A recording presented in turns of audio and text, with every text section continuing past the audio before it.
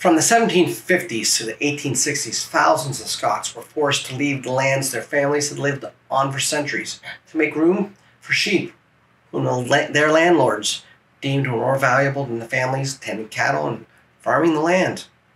This period was known as the clearances. These Scots who left for the New World or some larger cities within the British Isles were what we would call today refugees. After being forced to turn their back on their cultural traditions and their own history after the failed Jacobite rebellions. They were now less than half a dozen years later were forced to flee under threat as their homes were sometimes burned with family members who refused to leave still inside. Sometimes coerced through vague promises of a better life or land elsewhere, but for the most part, it was not of their own free will. Whether these refugees were part of an attempt of cultural genocide is a question up for debate and one I will be examining here and on my new channel, How We Got Here History. One of the first significant groups of Scottish refugees to come to the New World arrived in Pictou, Nova Scotia in 1773 aboard the Hector. The town and county of Pictou, to this day, almost 250 years later, still celebrate the Hector and the spirit of survival these refugees brought to the area as they sought to rebuild their lives. If you have a family who wound up in Canada at some point because of the clearances, there is a good chance that they or one of their kinsmen made their way through Pictou at some point. And today, the town of Pictou is home to McCulloch House, a great resource for those seeking information about their own families or just wanting to learn more about the Scots who came. And in this video, I will be interviewing a researcher from there as she joins me to talk about what they have to offer and how they can help you in uncovering your own family story. But before I begin, if this is the type of content that flips your kilt, be sure to subscribe and leave a comment about your own Scottish ancestors. Hi, I'm Brian Nash from How We Got Here Genealogy, and, and I would like to introduce my guest for today, Susan Parker. Today we're going to be talking about um, Nova Scotian immigrants, uh, specifically to through Pictou. Um, Susan works at the um, McCulloch House and Museum in Pictou, Nova Scotia. Um, hi, Susan. Welcome to uh, my channel, and uh, I like to usually start off my when I'm talking to guests just to ask them a little bit about themselves to get the audience to get to know them. So, um, Susan, um, do you have a did you have an interest in genealogy before um, you started working at the McCulloch House? Yeah, um, my mom's family in particular has quite a bit of genealogy done and they link back to the ship Hector actually. So it's always been an interest in the family to trace all the roots back to Scotland and figure out exactly what villages that our ancestors came from. And when you, um, when you you've done that as a family, what what areas of Scotland are you from? Um, primarily around the Lochbroom area, on the west coast, and then we have quite a few connections in the Inverness area on the east coast as well. Many of us Celtic Canadians, as I like to call us, um, they're you know it's kind of diverse, but they all sort of did they all sort of uh, meld once they got to Canada or what would be Canada. Yeah, yeah. It's interesting. They uh, a lot of the ones from the western side of Scotland end up in the western side of our county, and then uh, a lot of the ones from the eastern side end up in the eastern side of the county, but they met somehow. Okay, and you're from Pictou yourself, from Pictou County. Yeah, Pictou. Yeah. Okay. So it sounds like you have deep roots there. Yeah, yeah, almost 250 years. 250 with the Hector that's coming up. That's right. I've been here seven years as a summer student. Okay. As I went through I'm on my third degree now for history at okay. the University of New Brunswick. Okay, awesome. Um, so you'd be working on a PhD, and that's in Atlantic Canadian history, is it? Yeah. Tell us. Let's let's start with uh, Thomas McCulloch. Who who was Thomas McCulloch, and why is there a museum named after him. So Thomas McCulloch was a minister that came over from Scotland. He was originally going to PEI, but then when the locals in Pictou realized he's quite intelligent and educated, they wanted to keep him, so they convinced him to stay here in Pictou. And this is about 1803. And he ended up, instead of going to PEI where he was supposed to be a minister, he he ended up staying here and he acted as a minister at the local Presbyterian church. And he also worked towards creating a college in Pictou, which eventually became Pictou Academy. And a lot of his early ideas actually led to responsible government in Nova Scotia.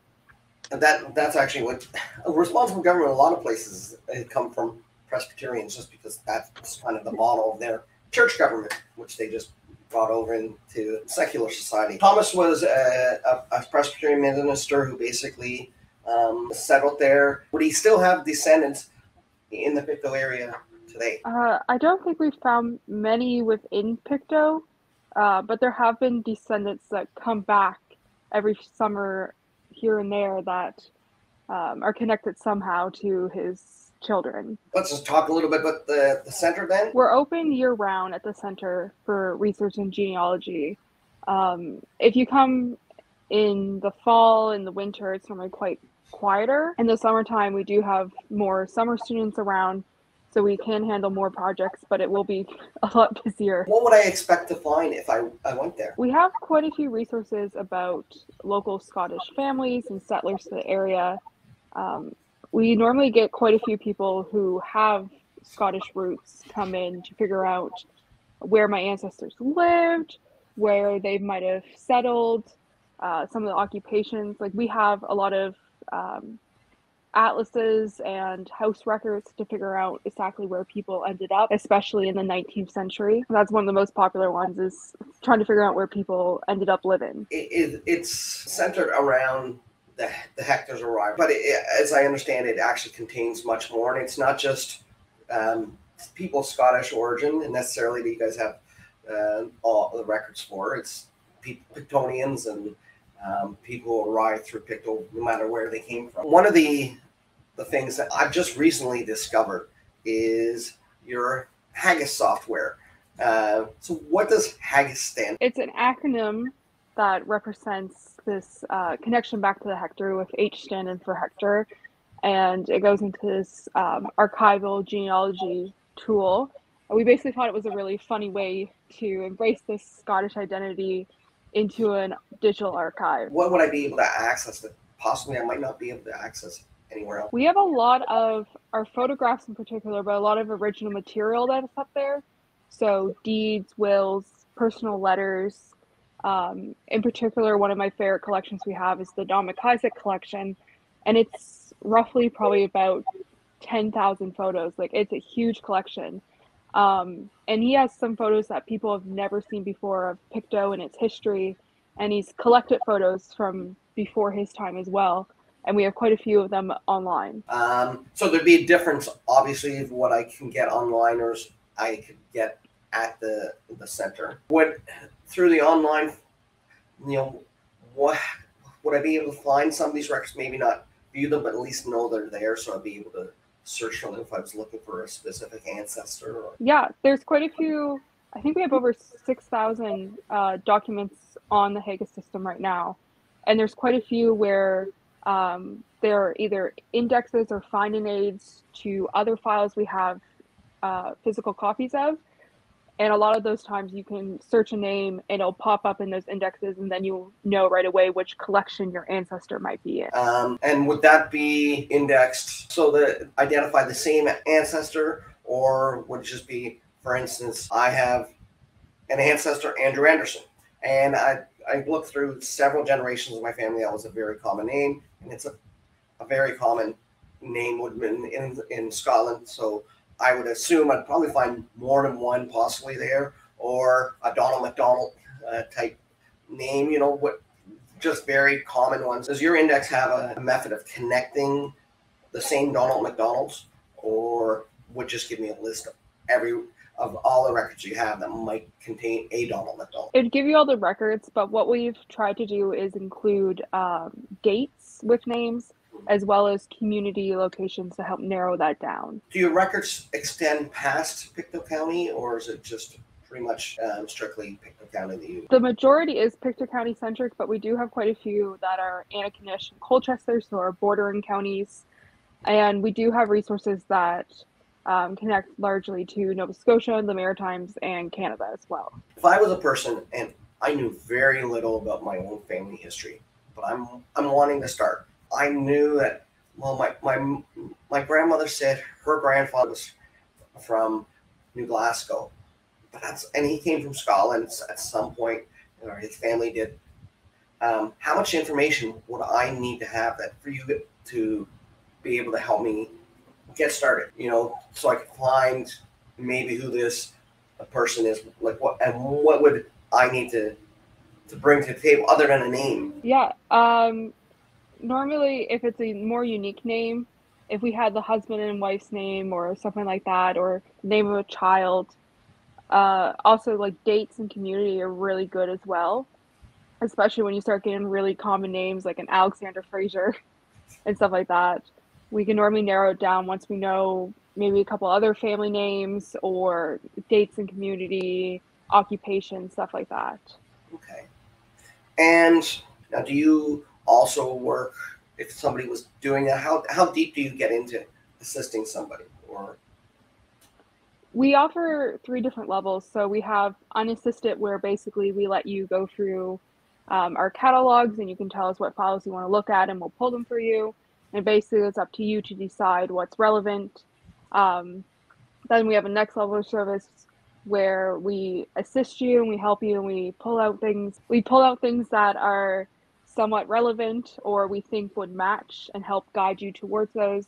And then we also have full service where you basically send us what you want to be researched. We'll do all the research for you and then send a nice little uh, file to you when it's done. So i i, can come from being a, a uh, somebody who knows like i said absolutely nothing but you know be able to get you guys to really guide me and get me started that I can hopefully trace trace my route. When you do that, do you go past again? Like I said, if I was a person from away and I, I sort of knew the basis of when my family was there in Pictou, um, and maybe you figured out when they arrived. Do you do you fill in the gaps between help fill in the gaps between when they left um, Pictou, Nova Scotia, and afterwards, or you just that's sort of the, the limit? We try to go as far as we can.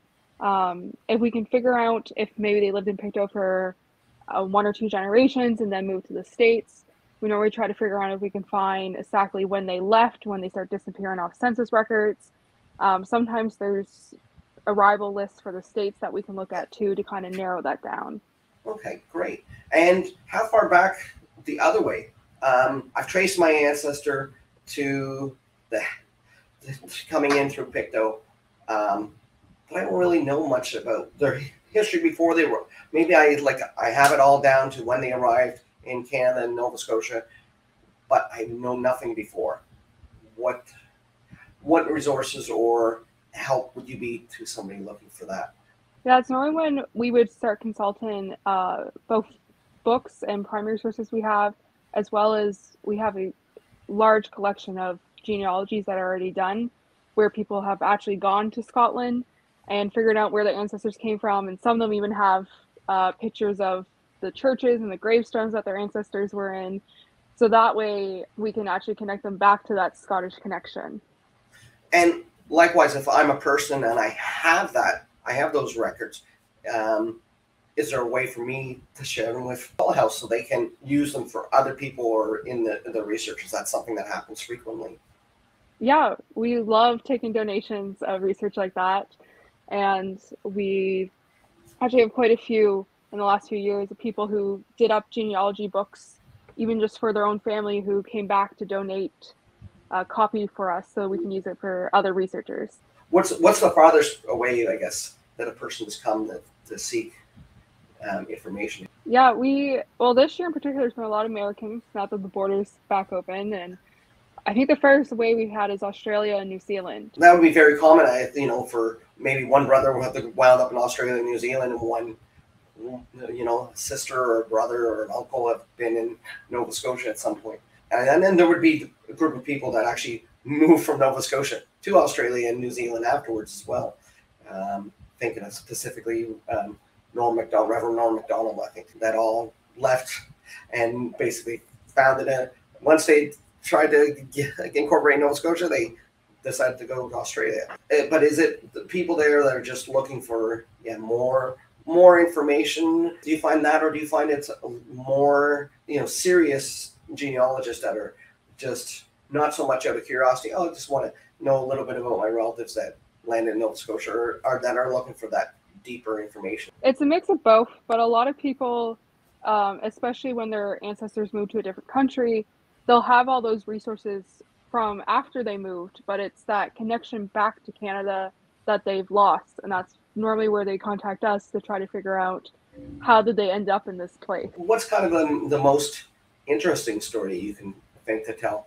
Um, you know, it's embarrassing. Don't you don't have to say names, but you know, just something that you know, interesting just in, in the, the story. But you know, as a, a genealogist and researcher, that you you found, you know, this was just really really exciting. I got to find out and use maybe new resources that I never would have come across otherwise. Yeah, I've been actually this summer. We've had quite a few people um, who had the same ancestor name, but they're all different uh, Frasers. But it's all this. Everyone in the family has the same first name, so it's a. It's one of those like really interesting puzzles where you're trying to decipher who's the right Fraser from the right town, and I've really had to dig into as many old maps to figure out the old street names that have since changed, looking through deeds and properties and trying to figure out exactly where their houses were, and um, reading about these older Pictou families that we don't often get to look into. So you, you mentioned old street maps and stuff. Uh, so do you actually have a good resource that street names I know have changed numbers and stuff in places, and that's often one of the the difficulties for people. For instance, my, my grandparents, my my grandmother married my grandfather the day he shipped overseas, and it was on Vernon Street in um, Halifax. The number that it gave is where they got married doesn't exist anymore, but because they renumbered the streets.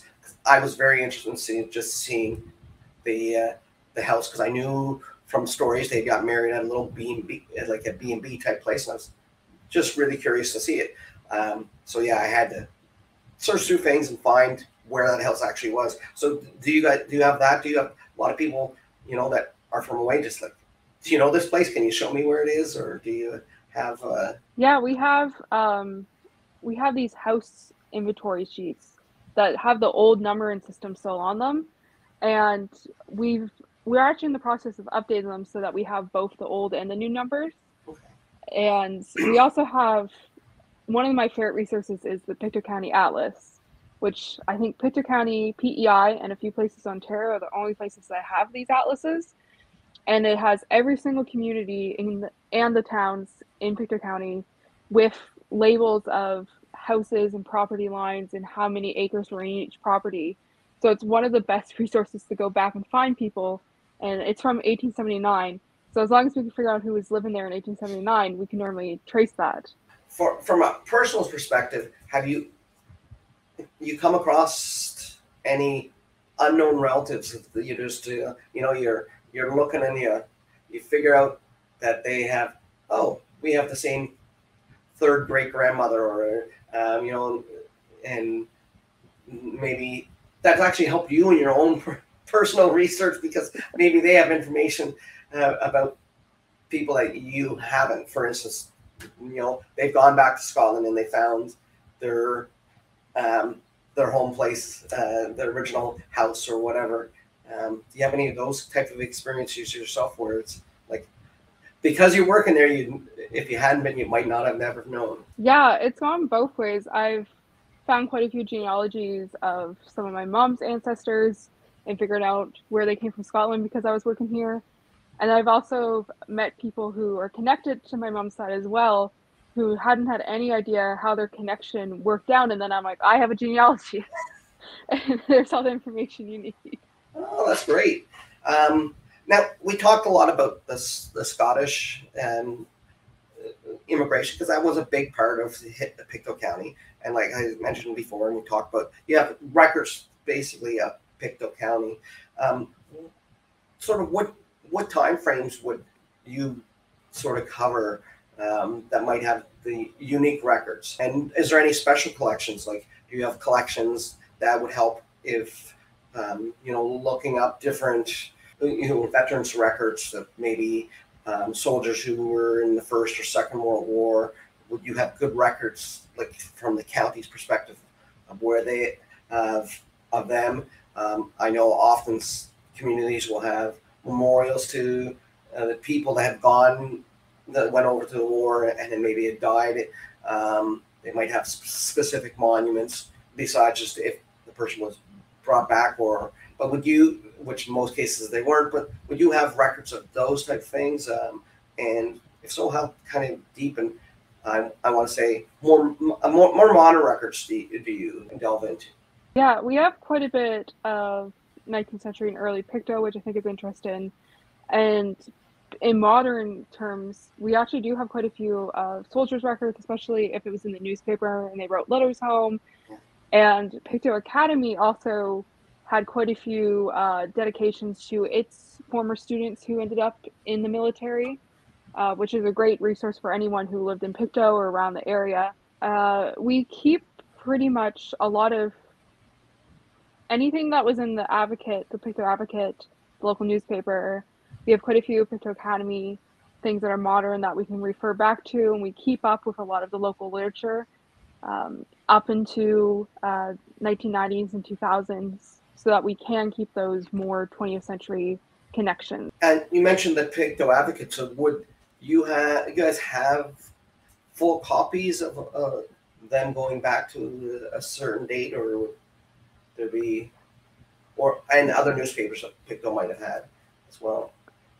Yeah, we have uh, the Eastern Chronicle and Pictou Advocate, two local papers, and we have those are both on microfilm, and Pictou Advocate from I think 1895 to 1982 we have, and then we have physical copies of it from about 2008 to present day.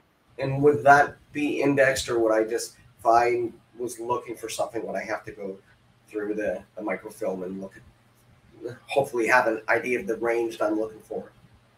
Yeah, actually, all these um, uh, card catalogs behind me are the microfilm index, okay. and we have it really well indexed. Not just vital stats like birth, marriage, death, but we also have business directories, shipping news, um, anything about hospitals, mining, stuff like that is all divided into subject categories as well to make it easier to find them. So if a person knew, like for instance, their grandfather had played on a hockey team in Pictou, the, um, you know, they might be able to, and they knew their age, so they would have been whatever range they could go back and maybe search um, search there, or would they be able to actually search by the name? Is it indexed that well, or just more by subject? Um, dependent if they had an article about their grandfather, for instance, uh, it could be in biography, but we also have sections for sports, for instance, that would just have news about sports teams and stuff. So it wouldn't necessarily be by name, but it would be sort of by date for the subject. In the the early history of Pictou County, is there any names that you've come across are just surprising, like or that's not a Scottish, that's not a British, that's not an Irish name. That's like where, how did they come over? Like, you know, maybe through Scotland, but you're just like, there's a story here how they got to Scotland, let alone how they came to Pictou County. Yeah, we have a few families where um, they're not Scottish, but then changed their name to be Scottish, so it's a made up Scottish surname. And then uh, we have quite a few um, foreign Protestant families that came up through South Shore that ended up here. And then they're so common now, you just assume they're Scottish, but then it turns out they're actually um, French, Swiss, German kind of influence.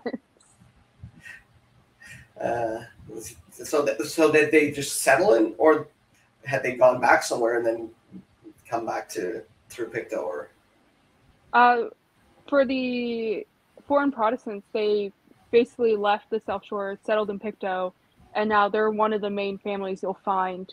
Um, in particular, it's the Langille family. So in River John, anyone from that area, you're definitely related to a Langille. So they'd be the, the French, Swiss, uh, Germanic name. Nobody took took on a, a Scottish name like Mick Schmidt or uh, you know you don't have anybody like that or. No, we have. I think the the one that's you see a lot around here that was the made up Scottish name was McKeel. Yeah. Which And- is totally a made up Scottish next and fit in.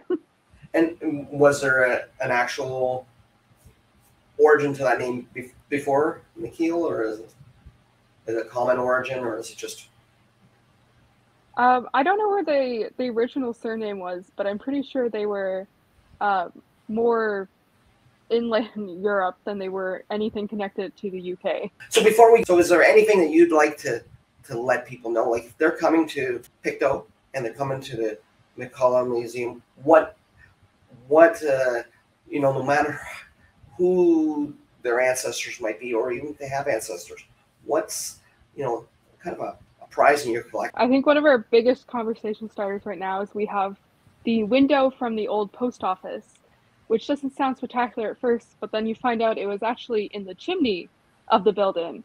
Uh, it was designed to go in their chimney, which it will never be used as an actual window, but somehow they decided that was a great design. But they have since replaced the window. And we ended up with the original one, and we have it on display in our center. Okay, so that's just a quirky little thing. Um, Yeah. Now, what other things in Pictou County? I go to the McCulloch Center. I'm finding out about my ancestors.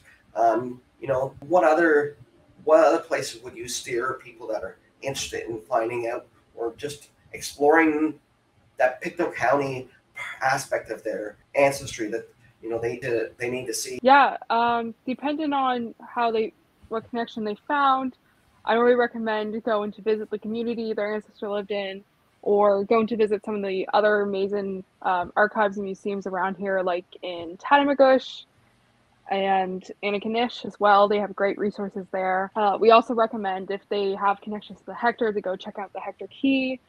And even at our site, we have escape rooms and outdoor adventure games that are historically based. So, depending on how much they like the history, we have these great games for them to keep their time occupied. A historical genealogical escape room? Yeah. Wow.